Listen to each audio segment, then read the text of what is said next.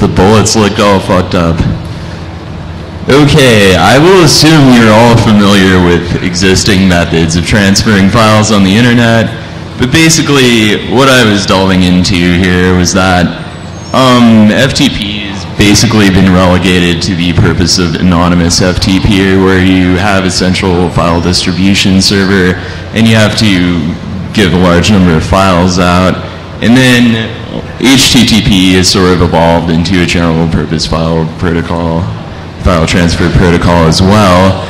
And one of the problems is that these current methods are entirely client server. And so the server must therefore have sufficient bandwidth to be able to handle all traffic requests.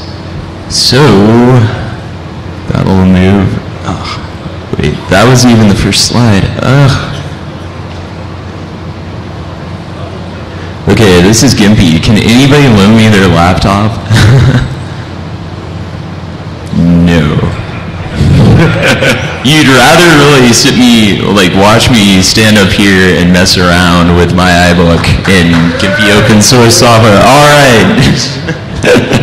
Let me try to get the fucking first slide to show up. Hey, it right. changed. There we go. All right.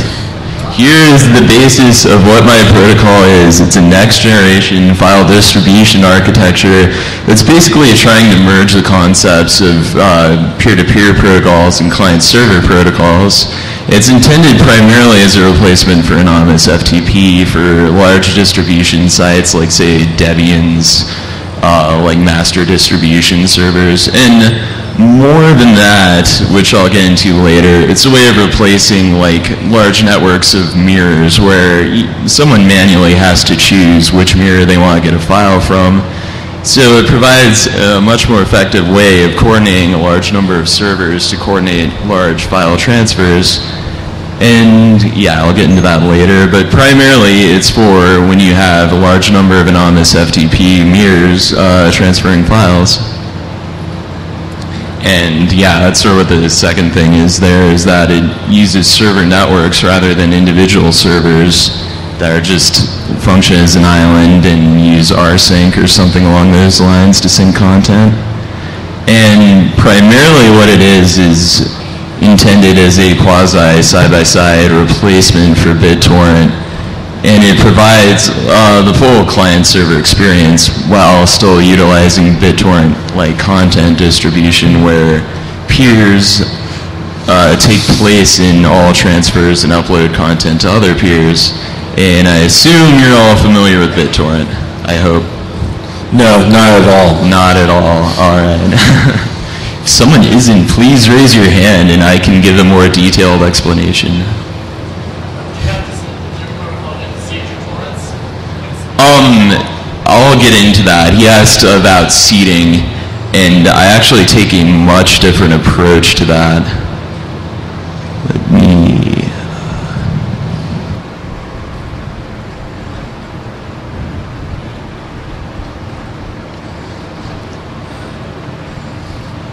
All right. So here's a little bit of background on what BitTorrent is. Uh, PDTP is very similar, and I'll get into the exact differences in a bit. But as I explained earlier, the whole idea of BitTorrent is you have a tracker that uh, various clients can post which pieces they need, which pieces they have, and then other clients can look up what pieces need to be transferred where and transfer pieces of a single file to each other. And I take the same approach in PDTP. I break files into pieces which are hashed and transfer between clients.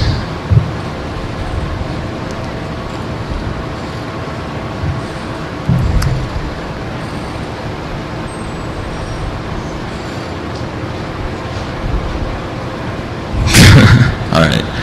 Yeah, let me go into a little bit of why I started writing this. In about, in early 2003, I started writing a C library for BitTorrent.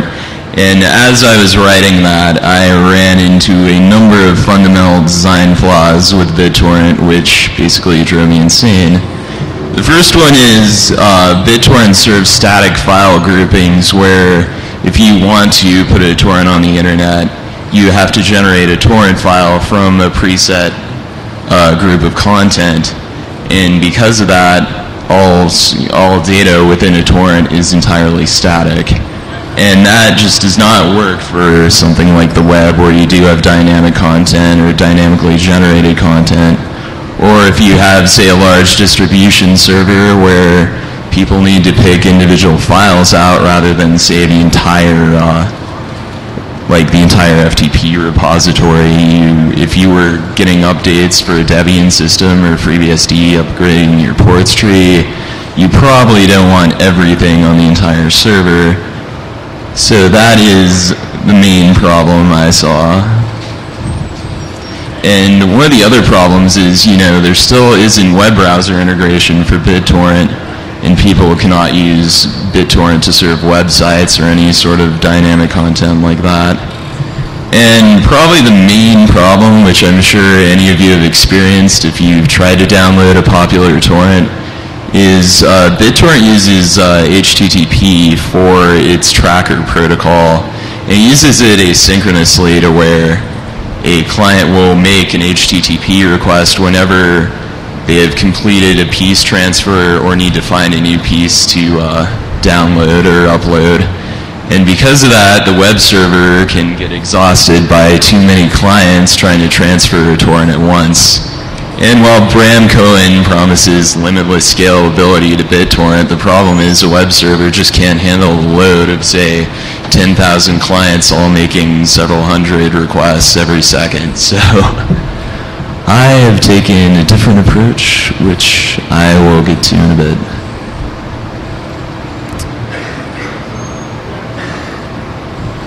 I'm not sure if any of you have heard about BitTorrent 2, but one of the main things they'll be moving to is hash trees where um, you can check different parts of the file rather than just a set number of pieces.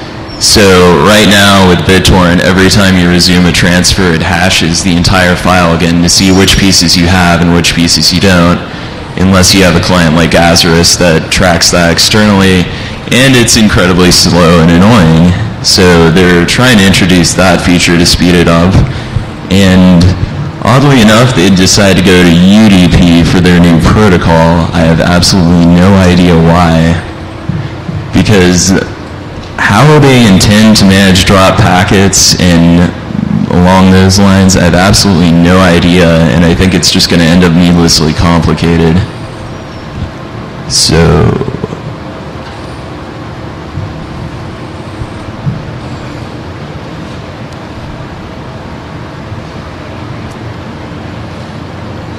Yeah, so what PDTP provides is dynamic directory mappings that uh, are updated on the fly whenever the files explored by the server change. The server I'm writing automatically hashes files as they become available. I know there are various scripts for BitTorrent that will use a program like dnotify to automatically generate torrent files, but if you have a large master distribution server for something, and you have, say, tens of thousands of files, that's tens of thousands of torrents you have to run at once. and BitTorrent has issues running more than one torrent at once on most servers due to scalability issues. And the other nice thing about PDTP is I provide all sorts of uh, components like a proxy server that would allow you to use PDTP behind a firewall and it would also allow uh, several users behind, say, a NAT gateway to share a single incoming port and it will automatically direct incoming connections to the proper computer on your local network. And I'll get into how that works in a little bit. And as I mentioned before, BitTorrent uses HTTP asynchronously and connectionlessly. And BitTorrent 2 will move to UDP, and PDTP uses a lightweight TCP-based transaction protocol, which I think is the best choice for this job.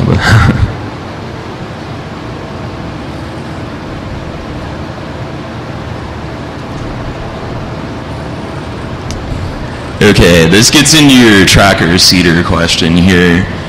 Um, if you're all aware, BitTorrent uses trackers, which are is basically either a Python or a PHP script, which is usually talking to a backend database. And then you have to run at least one BitTorrent client, which is called the seeder, that has all the pieces you wish to serve to the network. And PDTP is structured quite a bit differently. There are two different components to the protocol which handle the tracker and seeder functionality, but they also do different things and are structured a little bit differently, and I'll get into those in a bit. I don't think OpenOffice can read the name of this slide. Okay, never mind. Um, if any of you have ever tried to implement a BitTorrent client of your own, one of the problems you're going to run into is Bram Cohen has not documented the protocol. Like, he has about a two-paragraph description of how it generally works, but for the actual mechanics of how BitTorrent functions, you're not going to find any documentation besides the code itself. And I have an entire IETF internet draft in HTML and RFC 269 XML format, which is on your handy dandy DEF CON CDs if you have those with you. Which you probably don't, and most of you seem to be sleeping, so alright. but if you really care, you can pop in that CD and check out the entire protocol specification. It's also on the web at pdtp.org. Have applied with IANA for port assignments. BitTorrent kind of jacked some ports and called them theirs, so.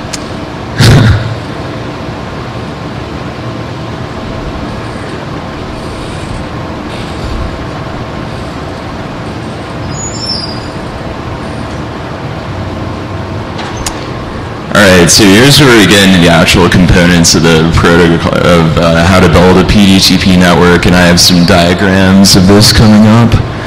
Um, there's two primary components of the system. The first is a server, which acts like a BitTorrent tracker. Now, the nice thing about this is you can have multiple servers on a single PDTP network. So where before with BitTorrent you might exhaust the resources of the system you have doing the service, with PDTP you can say what used to be an FTP mirror is now another PDTP server and it manages a subset of the available clients and routing pieces to and from each other. And then instead of a seeder, they're hubs. Um, how this actually functions is all the servers connect to the hub rather than having a seeder connect to the tracker. Every network must have a hub, so if you have a server disconnected from a hub, it won't serve any files and it's basically useless. So if you are connected to a hub, you will be able, if the server is connected to a hub, you will be able to access all the content on the network, as opposed to BitTorrent, where you might run into a dead torrent where there's no seeders for it.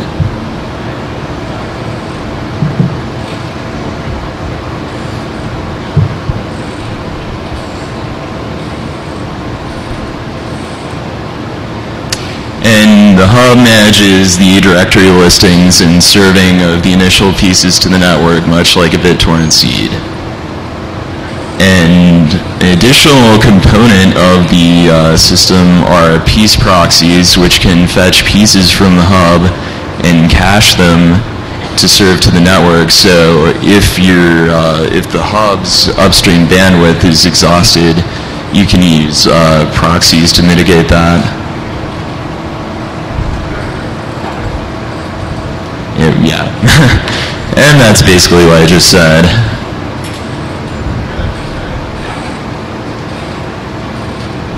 I'm sorry, this is all a really boring intro. Once I get to the diagrams, it should be a little bit better to, should be a little bit easier for you to figure out how this all comes together. Um, Okay, there are two types of proxy servers, the piece proxies I mentioned earlier and the uh, actual just proxy servers, which I mentioned at first. The proxy servers use dynamic protocol translation to allow multiple clients behind a firewall or otherwise or just on a common corporate network to share download from a single server. So if, say, one person on a large corporate network is grabbing a software update, they will actually serve that to all the other clients on the local network. So if Windows Update or something were to eventually make use of this, um, it would replace SUS, basically, that they could fetch an update and then every other computer on the network that needs that update can get it from the first person who fetched it. And it also allows people behind a firewall to make outgoing connections to other peers or receive connections from other peers. And this is what clients can basically do. They can browse the available files, they can transfer files, or, and um, they're either passive behind a firewall without a proxy or active where they can make both incoming and outgoing connections. And that becomes really important because you need a large number of active clients on the network for it to be able to function. I did look into some ways of getting around that. I don't know if any of you know about Beep. Yeah, okay, one guy knows about Beep. How about, how, who knows about JXTA? One person knows about JXTA. okay. There are several ways of uh, getting past the incoming-outgoing connection problem with firewalls using protocols like Beep and JXTA. But apparently no one here knows about those, so I'll just move along. Alright, here's what I really wanted to get to. Here's how it all comes together. So basically, this is the smallest possible configuration of a PDTP network you can have, where you have a single hub and a single server that serves several clients. The server manages who's getting what from whom, and the hub actually has the pieces of the content the clients are interested in. If there's no clients on the network that have an available piece, it will fetch it from the hub. Otherwise, the server will try to locate the uh, piece on the best available client and tell that client to transfer it to the other client. Much like BitTorrent. And there's actually a very complex ranking algorithm that goes into that. I, you probably don't want me to delve into that because it's a lot of set theory, and I'm sure you don't want to hear about that right now. You'd much rather get on and get trashed or something. Does anybody actually want to hear about that a little or not? no, okay. Alright, this is the next step up, and this is where we actually get into probably something a little more interesting, which would be co-opting the law. In this configure, well, this configuration still has uh, clients fetching from the hub, but okay, I'll get into that part a little later. In this, there's just multiple servers, so multiple servers can allow um, more than one system. Say you had a big network of FTP mirrors, you could designate several of those as servers and you would have a single hub that would manage all the clients on the network.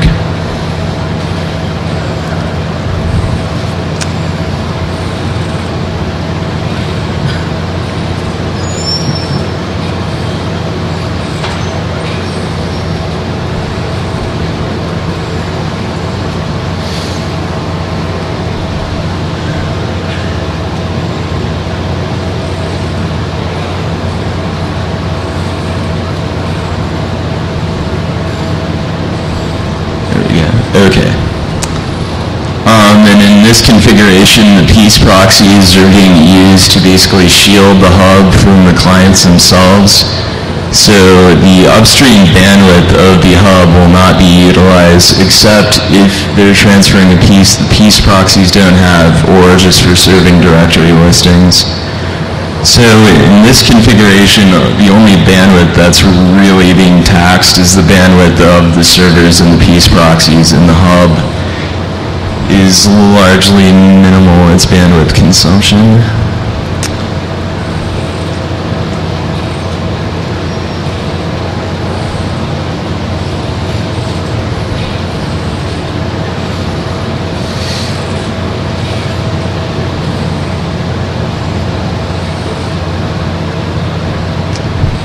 Okay, I'm not sure if you what can I do to liven this up? Everybody is just out there zoned out. I'm sorry it's boring subject material, but there's not really much I can do with it. Does anybody have any questions? any thoughts? Anything? What? The what?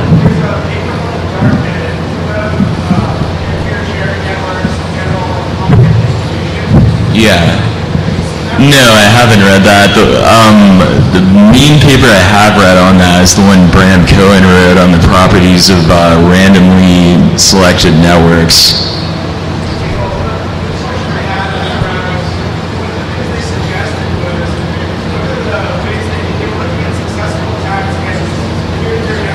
Okay.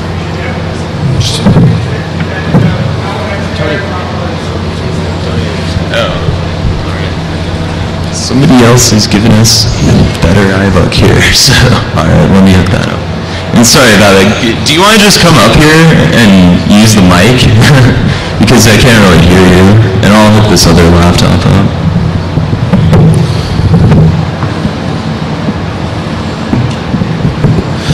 The, the question I had was just about, uh, the paper suggested that there was a number of uh, potential flaws or vectors for attack from the Microsoft perspective on uh, content distribution networks. And one of the things they said was around the, the servers that would host the directories or the databases. So if you had a database of all the content you could find on the network, because if a client can find it where that database is, their lawyers could find it where that database is, that would be that where they would focus their efforts is being able to bring like lawyers against your database server, your directory server.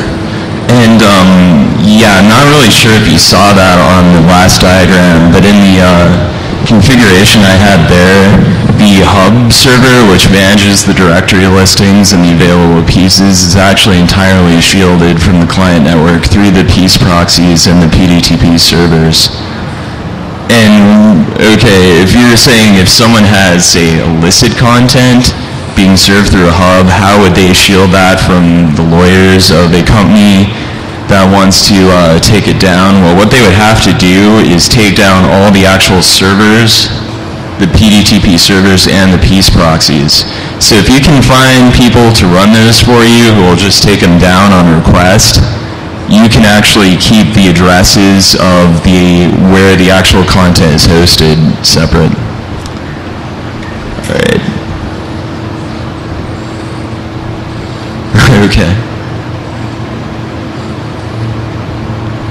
Um, who donated this again? I have a picture of a motorcycle up here.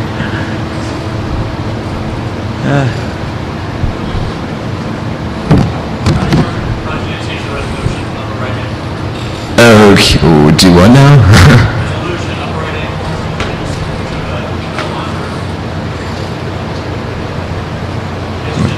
Do what? Oh, yeah, which I can't see.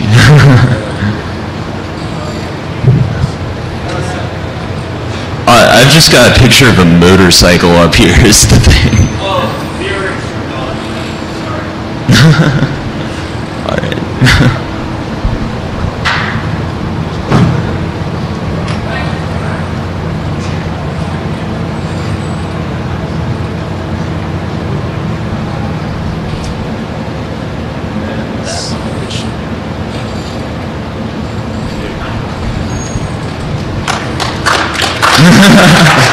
well done. All right. So yeah, this is kind of what I was talking about before Bram Cohen's paper. Bram Cohen, who developed BitTorrent, wrote a paper on the advantageous properties of random networks, and that's what he depends on to provide, uh, to handle things like clients who aren't really contributing to the network.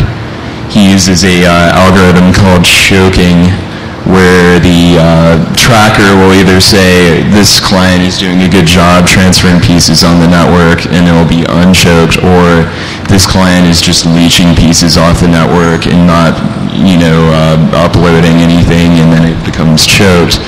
Uh, PDTP uses a weighted scoring algor- algorithm where it basically keeps track of every piece that a given client has uploaded and multiplies the score of the destination host by all of those values to compute a new score every time a transfer finishes. So clients that have been successfully uploading a lot of content will be ranked higher, and then clients who may be slower will have a lower score, and therefore, there, if they ha if a client experiences a slow upload to a crappy client with a low score, that value will be weighted lower in the average.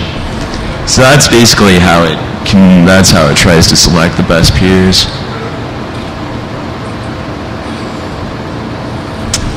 All right, the actual uh, protocol format is binary, like most modern protocols. It's uh, fully bidirectional. It supports synchronous operations and asynchronous operation operations. And who here knows what ASN.1 is? Okay. It's used primarily by the uh, X.509 public key architecture. It's a standardized binary format, and I did consider using it at first, but I just decided it was far too complex, and given a large series of uh, input validation errors in both OpenSSL and Microsoft's SSL implementation, I decided it's probably too complex for its own good for me just starting from scratch. So I developed my own uh, binary format, binary protocol format. It's pretty simple here. You have a length value, a serial number. Whenever you have synchronous transactions, you give them a unique serial number, and then when you get a reply to that, it'll have the same serial number. Uh, an opcode, this is just a uh, value that determines which, which command you're executing on the server. If you look down at the bottom, it uses uh, the first bit of that to determine between a request or a reply. And then um, after that, it takes a number, arbitrary number of binary objects, which can be strings, integers, um, basically strings and integers. And it lets you basically have variable arguments to any given operation. And that's the format of the objects. They just have a length uh, identifier for what they are and then the actual payload. And um, one thing, if you look at this, the length of the entire transaction is the first thing that's given and then every object has its own explicit length. So there's no need to compute lengths, which dramatically decreases the complexity input validation. And then it also uses uh, existing standards for uh, authenticating either clients or uh, servers on the network, servers to hubs or proxies to hubs. And who's familiar with HMAC here? Same few people have been raising their hands every time, okay. It uses the uh, HMAC hashing algorithm with the uh, secure hash algorithm to authenticate. One of the main things I've seen missing in uh, internet file transfer for years is integrity validation. Um, I'm sure many of you have heard about when uh, like Sunside got broken into, the University of Alberta got broken into, and the master distribution of OpenSSH was Trojan, and nobody realized it at first.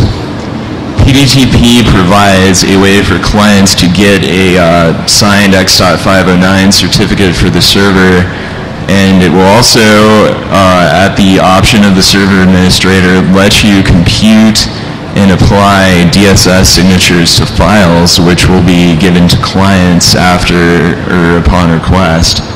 So after a file is finished downloading, it can compute the DSS signature for that file and check to see that the signed key for the server, or with the signed key for the server, and then check to see if it matches the pre-computed signature given by the server.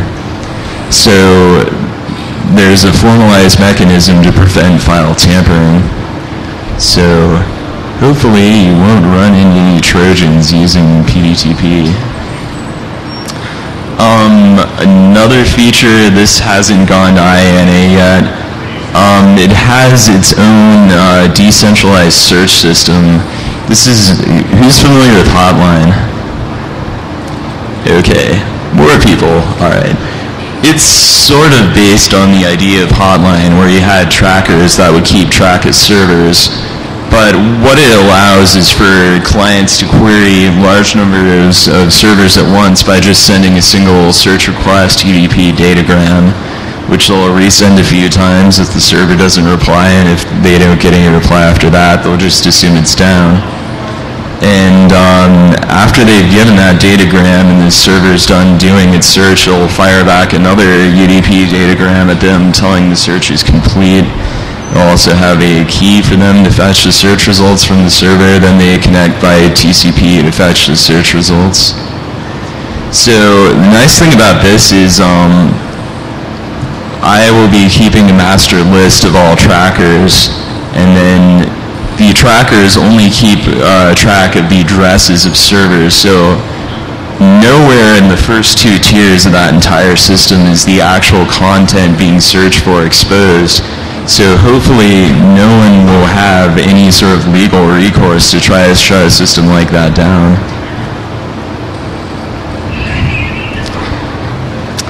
And yeah, there's what I just said about how the uh, search process works. They send a UDP request, and then the uh, server responds if it's up, and then the clients can fetch the search results by TCP. Um, these are the actual implementations that I and a few other people have been working on. They're all available on SourceForge. Um, there's a client library. It's designed for use in both single and multi-threaded applications, and it's written in C. Um, everything is all portable across Win32, Mac OS X, Linux, any BSD you want, and Solaris. I'd like to support a few additional Unix operating systems like HPUX and IRIX, but I don't have access to those systems, so I can't really do testing. If anybody wishes to help with the development and volunteer in HPUX or IRIX system, that would be great. um, the server component is, well, the server components are all part of a project called Squall, which is also available on SourceForge. Um, there's a Squall server, which is a PTP server, Squall Hub, Squall Piece Proxy, and Squall Proxy. And again, everything's portable across. Uh, the server's limited to NT-based Windows. It won't run on Windows 95, 98, or ME. Uh, it uses file system monitoring features found in NT only. Um, I'm also in the process of developing a GUI client written using Qt4. Uh, Trolltech just released the uh, developer preview of Qt4, which has a number of features I really need for it, including, um, anybody know Qt, or should I just not go into this? One guy, so, uh, it uses that is not present in Qt3 is the cr- uh, cross-thread signals and slots, where you can call signal in one thread and invoke a slot in another. And then because I have uh, far too much known, and not invented here, uh, I'm developing my own uh, Apache portable runtime-like application library, which supports a lot of features that APR doesn't. Um, who here is actually like an avid programmer? Would you consider yourself an avid programmer? Not many people. Okay. um, of you three people who raised your hands, are any of you familiar with continuations? No. Okay, I just won't go into that but USRI provides a cross-platform uh, implementation of continuations and file system monitoring. So it's got a lot of cool features. Um, getting involved, considering not many of you are programmers, you probably don't want to do that, but we're certainly looking for documentation writers if you're at all interested, or tester, yeah. Sign you up, all right. I know everybody loves writing documentation. But yeah, basically right now, all we have is uh, Doxygen output, which probably no one here knows what that is. Three, same three guys. Wow, you guys are great. Uh, who knows what JavaDoc is? okay, a few more people. Doxygen's basically an open source counterpart to JavaDoc for whatever language you want. I'm using it with C. But the main thing we need are unit testers, and there's no programmers here, so I'm probably not going to find any of them.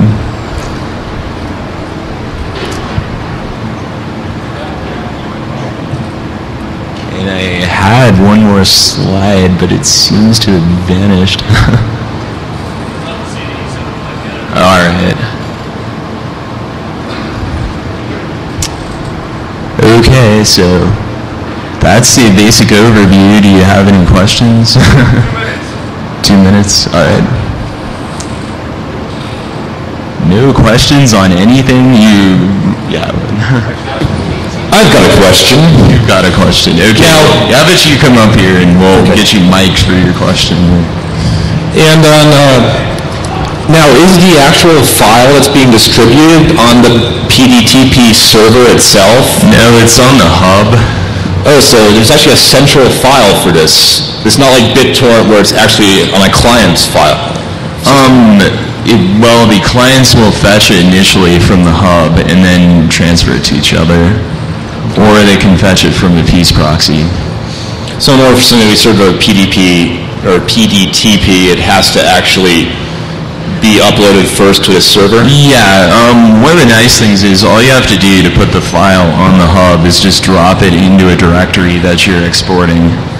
So there's no generating a torrent file, you just upload it to that directory and the server will automatically pick it up through file system monitoring and generate hash lists for it. All right. Um, My question is, uh, how does PDTP bypass stateful inspection firewalls to be able to uh, establish the connection to be able to transfer the file? It has its own proxy server that can be used to do outgoing connections and also receive incoming ones. Everything's keyed by IP too, so it only allows one connection per host. So anybody behind a NAT firewall who wants to transfer the same file from the same server pretty much needs to use the proxy server. But yeah, it will route the incoming connections since the since the proxy server has complete access to all the protocol, the whole wire protocol from the client to the server. It knows which uh, host is going to be making an incoming connection or what's going to need to make an outgoing connection, and it can route the uh, connection appropriately. All right. Yay, multiple questions. All right. Last one. Last one. All right. One is, uh, is it allow multiple file transfers at the same time? Yeah, um, the client library basically runs each thread or each uh, transfer its own thread, and then the, it allows you to multiplex directory listing traffic or multiple file transfers uh, through that connection. So you can still browse all the content on the server while multiple transfers are going. And the second question is, uh, is the program going to be run off like a, a website or like a Linux or whatever? It, it's all written in C, so it has its own server that you can run on any Windows, Linux, BSD, Mac OS X, or Solaris system.